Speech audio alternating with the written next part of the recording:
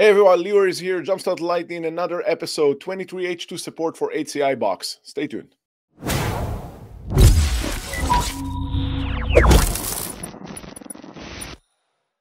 Hey everyone, Lior is here. Another Jumpstart Lightning episode and a regular on the show. Dale, how you doing? I'm doing really great. Awesome to be on the show as always. Dale, uh, you know uh, this uh, this episode, uh, it's a long-waited one because we've been working on HCI box 23H2 support for a while now, and you're here to talk about this. But before we dive in, as always, Dale, who you are, what is it that you do? Yeah, my name is Dale Kirby. I'm a partner solution architect in Global Partner Solutions, and I'm also one of the core maintainers for the Jumpstart project. And I'm happy to be the lead architect for HCI Box, and that's what we're going to talk about today. Definitely, Dale, Uh, like I mentioned, this has been a long-waited uh, version of uh, of HCI and complements the new release for HCI. So this HCI box is something. This version of HCI box is something that we've been working on for a while now. Um, and today I wanted to have you on the show because finally this is out, right? Yep, yep. Finally, we're here. You know, just to give folks a recap of you know what HCI Box is, if you're not familiar. Um, you know, we built HCI Box to offer a sandbox to explore Azure Stack HCI and Azure Arc together. Um, without requiring physical hardware, which of course HCI is is built is built for. And so HCI box can be fully stood up in an Azure environment to explore these kind of you know this these Azure Arc and Azure Stack HCI technology without hardware to really get quickly into places where you can do things like you know one just get hands on with the tech you know, mm-hmm. accelerate mm-hmm. proof of concepts. You can use it as a training tool, which we've had a number of partners and customers do. Uh, it's great for spinning up quick demos and things like that. So there's just yeah. a lot of you know use uh, that our customers, our partners in our field even get out of HCI box in terms of yeah. using it as a way to explore this this technology. Mm-hmm. And and Dale, would it be fair to say that there's not a day go by, or at least almost every day go by, without either you or me are getting asked about, hey, when are you releasing the next version yeah. of HCI box? Because we really want to start working with uh, with the 23H2. Yeah, and let's give some con- let's give some context to that because it was with 23H2 came the new cloud deployment process, the new yep. um, uh, lifecycle management within you know inside of Azure for managing Azure Stack HCI clusters deployment is a lot different. A lot of things change, and naturally, people were eager to get hands on with what the new changes right. were and how they looked. And, and the new changes are awesome, by the way. I really like where things are going. Uh, yeah. So, what we wanted to make sure is that HCI Box is a way for them to experience not just Azure Stack HCI, but Azure Stack HCI 23H2 and all these new new developments. Yeah, definitely. Yeah. Um, why don't we talk a little bit more about what's changed, right? Um, so here you're looking at the architecture now. Most of the arch, like the most of the fundamentals are still there. Uh, so we're mm-hmm. still deploying into an Azure subscription. Everything is self-contained inside of an Azure resource group. Um, uh, but some of the things that are different are that we've really significantly overhauled one the code base uh, so the code mm-hmm. base mm-hmm. is is much in my opinion cleaner uh, and more straightforward which we think will help um, outside contributors or just you know folks that want to you know kind of tinker themselves uh, so that's much simpler we've also yeah. streamlined the networking architecture um, so that the networking is um, more like a what a production environment would be like. Now, naturally, HCI is not meant for production, uh, but we mm-hmm. wanted to make sure that we're coming as close to it, you know, emulating as possible what what's out there in the real world. Right. Uh, we've also done some things like we're using Windows Admin Center and Azure Portal um, which is available in preview much more heavily. We've kind of redacted the Windows Admin Center Gateway server, mm-hmm. although it is still available as a feature. If you want to turn it on, you're more than welcome to, to run that code. Uh, so there's a lot of things that have changed in terms of the architecture that we think streamlines using HCI box and also simplifies deployment and things like that. Yeah.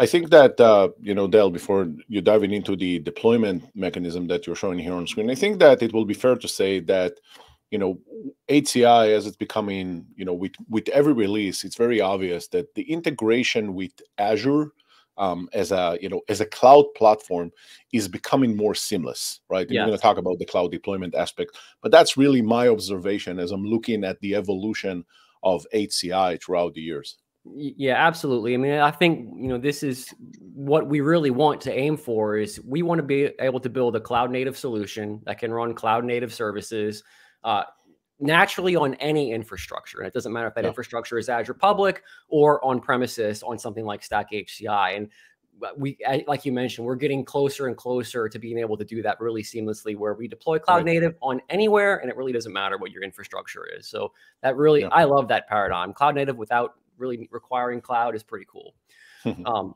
and let's talk about the deployment flow. So if you've used, again, if you've used HCI Box before, it's not going to be that different um, in terms of how you deploy it. So if you've used things like Azure Developer CLI or Azure CLI to deploy it, same exact process. You deploy the ARM template, or this could be you deploy the bicep template, uh, and then you log into the client VM, and that kicks off the rest of the scripts. Now, mm-hmm. what's changed is that because there is this new deployment process for the actual Stack HCI cluster, the Azure Stack HCI cluster resource itself, we wanted mm-hmm. to make sure that um, users are able to kind of see what this looks like uh, in real time. And so let me yep. show you what like once we've deployed an arm, you know, the the bicep template for HCI box, and we have the HCI box VM available. The next step is to log into that VM and let the automation scripts run. Uh, mm-hmm. So I've just um, switched over. Let me just um, I've, I've, switched over to an environment where I've deployed that first step. So we've deployed the bicep template and we've got mm-hmm. our client VM available. You can see that the client VM is down here, the HCI box client. That's the virtual host, the virtualization host that hosts the HCI nodes and all the other infrastructure. And you can yeah. see it's also done things like automatically onboarded the two virtual HCI nodes as ARC enabled servers. That's one mm-hmm. of the mm-hmm. prerequisites for deploying a cluster. And so we're kind of at the point where we're ready to deploy our HCI cluster through Azure. And so by the next step would be we remote into that HCI box VM. You can see I, am inside the VM here, inside an Azure Bastion host. I can open up just a file explorer on the HCI box host, and I can see uh, some of the files from HCI box. And two of those files are going to be an HCI and an HCI.parameters JSON. And these are actually the ARM template that you can use to deploy your HCI box cluster in Azure. So I'll mm-hmm. open up that, that encode here. You can see this is a complete ready to go ARM template. All you have to do to deploy your HCI box 23H2 cluster is take this and deploy it in Azure. And the, of course, our guide tells you exactly how to do that um, uh, to walk you through the whole process. So there's a there's an ARM template. There's a pre-built parameters file that has everything you need. It pretty much, you know, I've deployed a lot of 23H2 clusters. This is by far the most straightforward and simple way to do yeah. it um, from an ARM template perspective that I've that I've seen.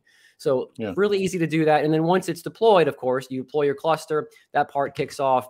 And then once your cluster is deployed, then you can start using HCI box. So I've switched over to another resource group here where we've got a completely deployed environment. You can see mm-hmm. I've got things like um, my HCI box uh, cluster itself.